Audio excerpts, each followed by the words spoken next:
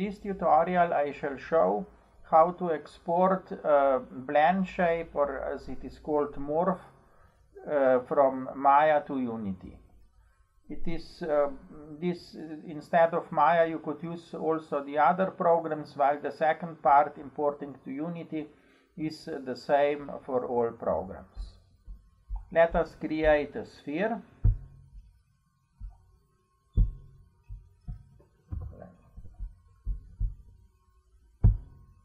And now let us duplicate it. This is our first sphere. Now we have two spheres and let us make the first sphere invisible. Control H so that we have only the second one. This is the second one. Now we shall deform it in a way. We choose vertex, select some vertices. I have the soft selection so that you select uh, them softly, some more, some less. And then you just pull this out.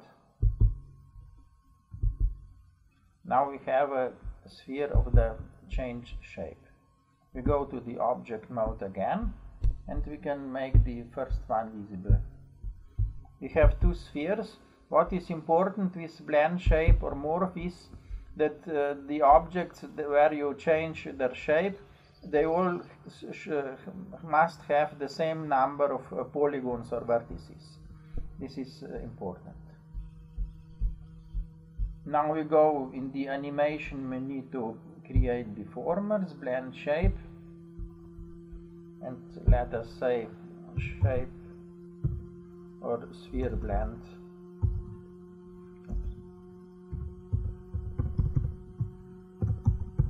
This is the name of uh, and create.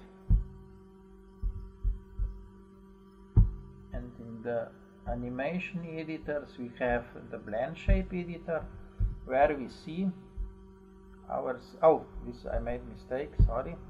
I should uh, create select both. I should select select both.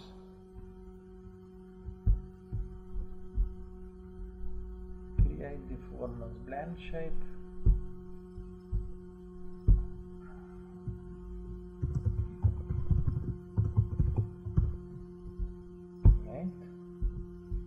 Now let us have a look in the windows.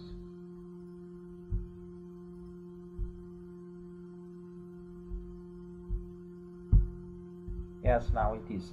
This is the first one, you can ignore it, it, uh, it was, uh, I made it wrong. And the second one, you see the shape of the sphere is now changing.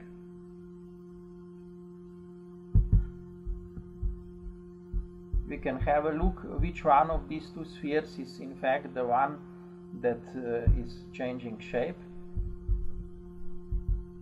You see the other one the sphere 2 is that one that really changes. Now we select the object uh, and export it as FBX format export selection. FBX type export is already chosen we have to be careful here.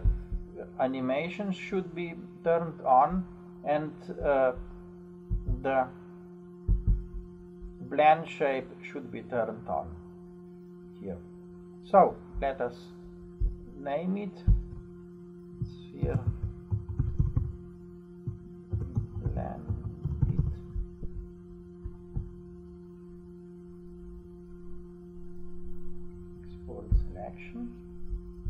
now we can go out of Maya and have a look where have we got it. It is here in the scenes folder. It should be a sphere. Sphere blended this is our exported file. We now just drag it into our unity assets folder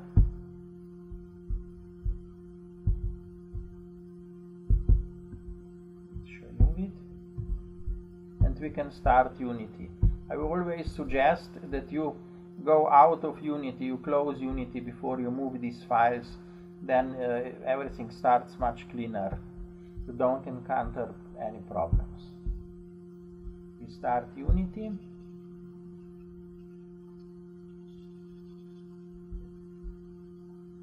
we already have a new scene here we go to the pro into the project tab and here it is our sphere blended let us click on it.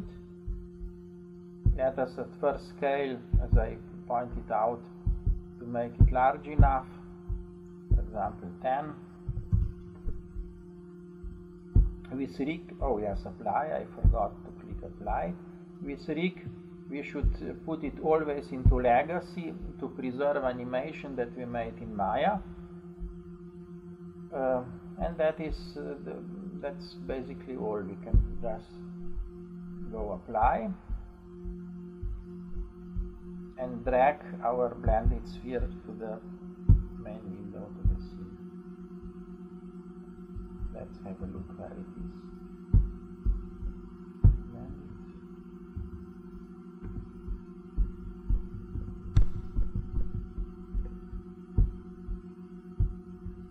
Oh, it is the game window, that's why I, I was in the game window, that's why I didn't see anything. So, this is our sphere. If we look at it, if it is already selected, and we have here animation and uh, transform, sphere blended. There should be a blend shape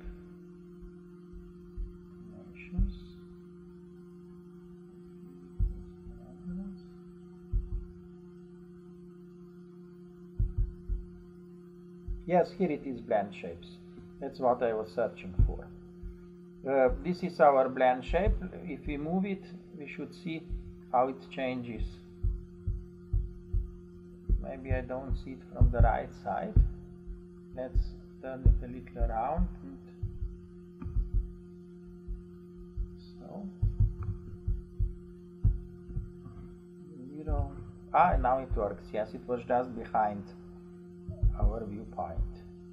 Here is the here is and if we go this way then it uh, becomes normal and it is blended again. We can control uh, the amount of this uh, with a slider or with an animation but this I think is best the theme of some other tutorial. I was just showing here how you import it into Unity. Uh, this is a, a, new feature of Unity uh, of the version 4.3 I think. Before uh, it was not possible to import in such an elegant way the blended shapes into Unity.